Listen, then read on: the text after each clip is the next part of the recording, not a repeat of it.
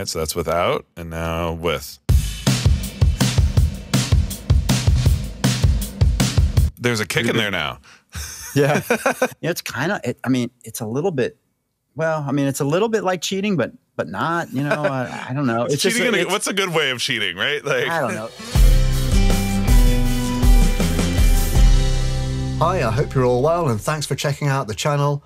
I'm Matt from Distant Sun Studios and today we're going to be looking at Universal Audio's recording software Luna and why for me it's the DAW that I pretty much use exclusively.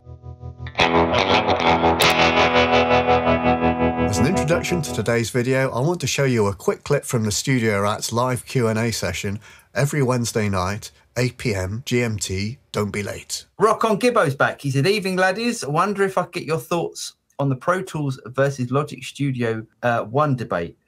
I- I'm going to shoot the whole thing down in flames. They're all the same. They're all a mixer and a tape machine.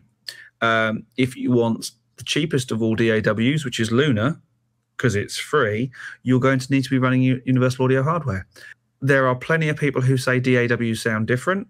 I'd struggle with that other than Luna. Luna Yeah. sounds different.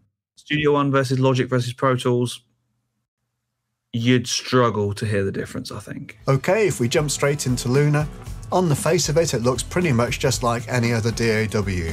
Following the signal flow that starts at the top of the screen, we have the input selection for each track, insert slots for up to 8 plugins on each track, sends to buses for adding parallel processing to instruments, and finally cue sends for creating a headphone mix. However, in addition to this, Luna has something called extensions that run natively inside the software. That means they require no external DSP from your Apollo units. The extensions are cleverly sequenced within Luna to recreate the tracking or mixing workflow that you would experience if you were recording on a large format analog console to tape. You can add across the instrument tracks, a UA Oxide or Studer tape machine, and at the time of recording this video, an API console channel strip. Across any of the bus tracks, including the master bus, you can add summing either Neve or API, master tape, which this time is an Ampex tape machine, and finally an API 2500 bus compressor.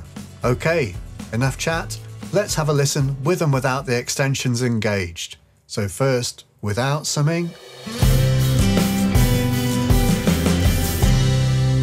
and now with summing.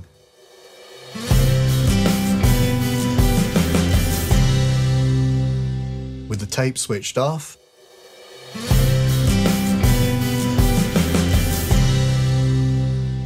with the tape switched on.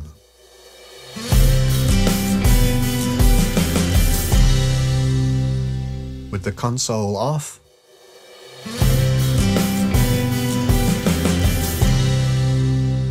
With the console on.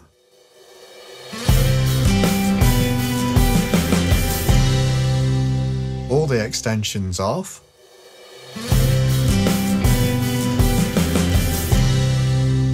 All the extensions on.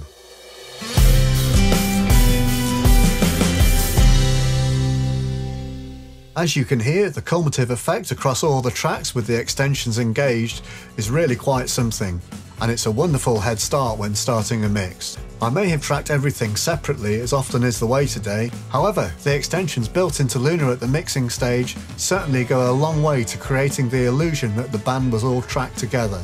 I'm going to make some more in-depth videos on how I use the API console and tape extensions in a recent mix.